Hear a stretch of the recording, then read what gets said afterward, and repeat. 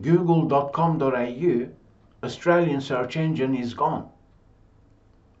If you're trying to use google.com.au and you've been redirected to google.com, you're not the only one.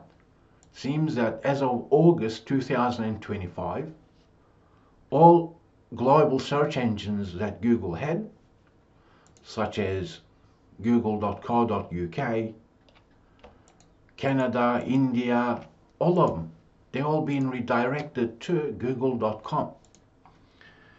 Even if we were to use NCR option, which means no country redirection, we're still being redirected to google.com.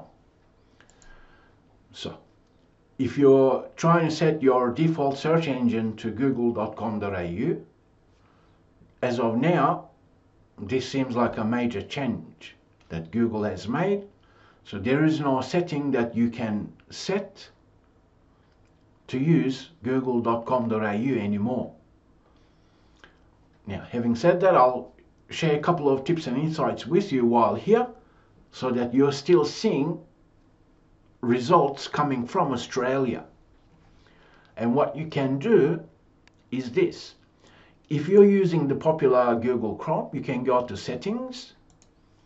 There you have your languages. You can add English Australia. Okay, so that's an option and move that to the top. Also, within your Google account, under personal info, you have general um, settings for the web, which includes the language. Here, make sure you're setting English Australia as your preferred language.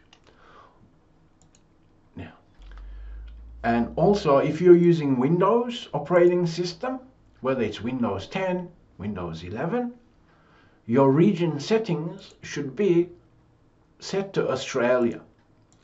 Now, if you have these settings in place, even if you're using google.com, this latest change basically means that Google has the capability to know where you are so that the results that it shows you is coming from the region that you're in. In this example, obviously it's Australia.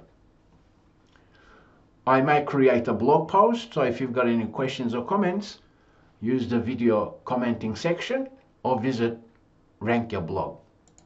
I thank you for checking out RankYa YouTube channel and I'll talk with you in the next video session.